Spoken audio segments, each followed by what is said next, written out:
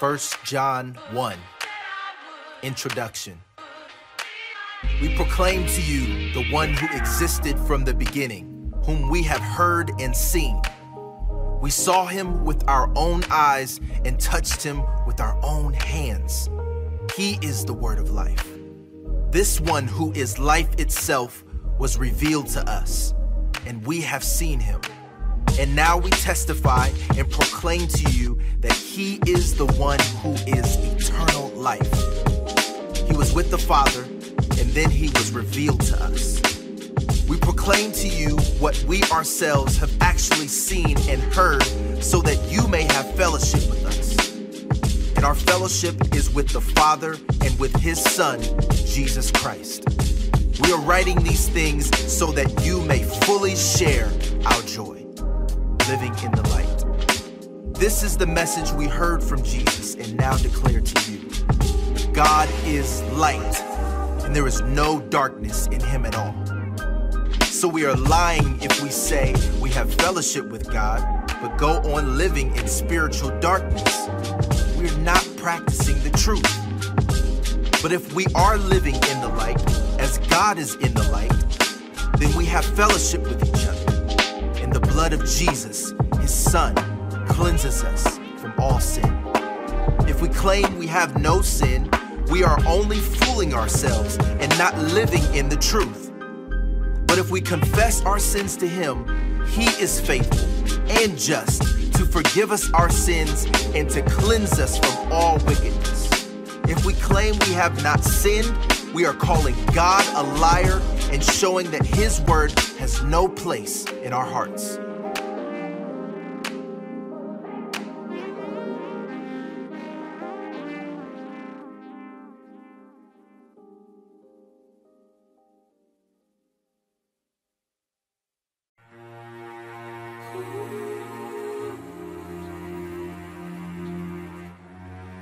First John 2.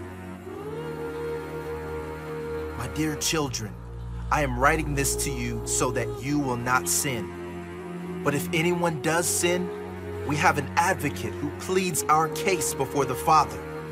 He is Jesus Christ, the one who is truly righteous. He himself is the sacrifice that atones for our sins, and not only our sins, but the sins of all the world. And we can be sure that we know him if we obey his commandments.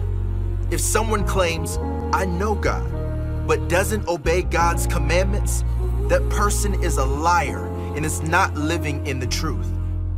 But those who obey God's word truly show how completely they love him. That is how we know we are living in him. Those who say they live in God should live their lives as Jesus did a new commandment.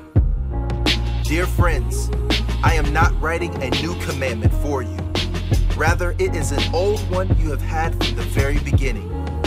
This old commandment, to love one another, is the same message you heard before, yet it is also new. Jesus lived the truth of this commandment, and you also are living it. For the darkness is disappearing, and the true light is already shining. If anyone claims, I am living in the light, but hates a Christian brother or sister, that person is still living in darkness.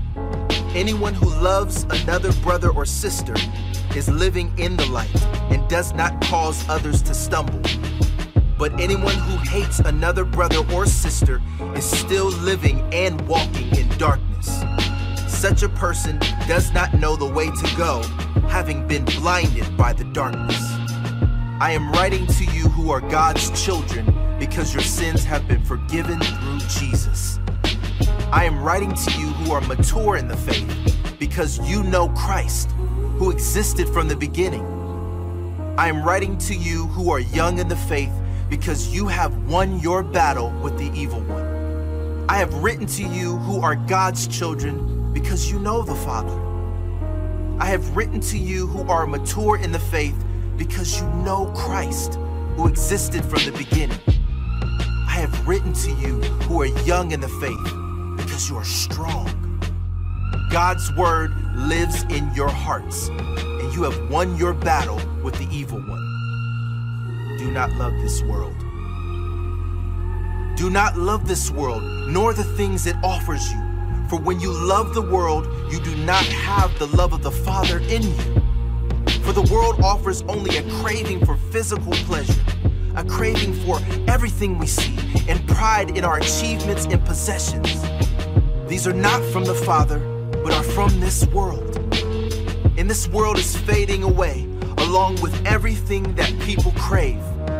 But anyone who does what pleases God will live forever. Warning about antichrists. Dear children, the last hour is here. You have heard that the Antichrist is coming, and already many such antichrists have appeared. From this, we know that the last hour has come. These people left our churches, but they never really belonged with us. Otherwise, they would have stayed with us. When they left, it proved that they did not belong with us. But you are not like that, for the Holy One has given you his Spirit, and all of you know the truth. So I'm writing to you not because you don't know the truth, but because you know the difference between truth and lies. And who is a liar? Anyone who says that Jesus is not the Christ. Anyone who denies the Father and the Son is an antichrist. Anyone who denies the Son doesn't have the Father either. But anyone who acknowledges the Son has the Father also. So you must remain faithful to what you have been taught from the beginning. If you do, you will remain in fellowship with the Son and with the Father. And in this fellowship, we enjoy the eternal life He promised us. I'm writing these things to warn you about those who want to lead you astray. But you have received the Holy Spirit, and He lives within you, so you don't need anyone to teach you what is true. The Spirit teaches you everything you need to know, and what He teaches is true. It is not a lie. So just as He has taught you, remain in fellowship with Christ, living as children of God. And now, dear children, remain in fellowship with Christ, so that when He returns, you will be full of courage and not shrink back from Him in shame. Since we know that Christ is righteous, we also know that all who do what is right are God's children.